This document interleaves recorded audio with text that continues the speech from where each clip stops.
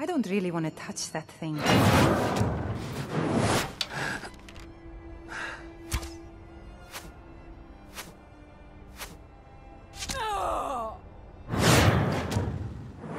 Jarl's backside. That's usually where he stuffs himself these days. Judge!